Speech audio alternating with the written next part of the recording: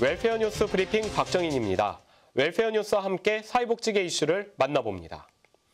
오늘은 윤석열 정부의 특수교육 중장기 계획과 실행 방향이 구체적으로 밝혀졌다는 첫 번째 소식부터 시작합니다.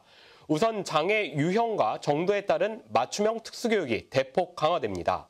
이를 위해 교육부는 모두가 존중받는 국가 책임 맞춤형 특수교육 실현을 비전으로 설정하고 이 특수교육 발전 5개년 계획을 발표했는데요.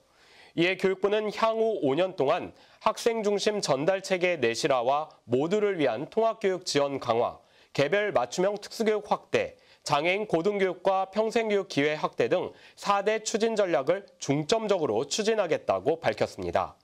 사실 그동안 학부모와 장애 학생들은 정부와 국회를 향해 특수학교의 추가 설립과 특수교사 수급 문제 해결 등을 지속해서 요구했지만 실행의 정도는 미비했죠. 윤석열 정부와 이주호 교육부 장관 체제하에서 발표된 근본 특수교육 발전 5개년 계획이 얼마나 약속대로 실천되고 교육 수요자와 공급자에게 공감받을 수 있을지는 계속해서 지켜봐야 할 것 같습니다. 다음 뉴스입니다. 지적장애인 가정에 고의로 접근한 후 결혼을 빌미로 2년간 함께 거주하며 장애 연금과 신용카드를 사용하는 등 수천만 원의 재산을 가로챈 40대 남성이 징역 7년형을 선고받았습니다.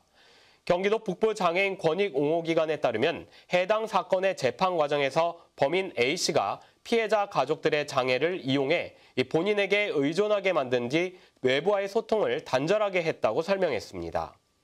우리 주변에도 장애인이나 노인 등 사회적 약자를 대상으로 하는 범죄 행위가 빈번하게 발생하고 있는데요.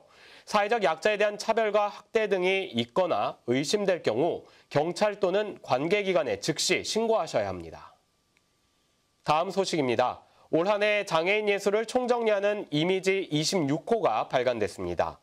한국장애인예술협회가 정기적으로 발간하는 이미지는 장애 예술인들의 활동 현황과 정부나 유관단체의 정책 등 다채로운 소식을 전하고 있는데요. 이번 이미지 26호에서는 청와대 첫 장애 미술인 특별전에 대한 소식과 함께 드림 위드 앙상블의 남아프리카 공화국 순회 공연 화보가 실렸습니다. 한편 방기 발행인은 내년부터 이미지가 새로운 장애 예술인 플랫폼인 온 이미지를 통해 온라인으로 자유롭게 구독할 수 있게 돼 많은 이들이 장애 예술인들을 만나게 될 것이라고 말했습니다. 더 자세한 뉴스는 장애인 신문과 웰페어 뉴스 홈페이지를 통해 확인할 수 있습니다.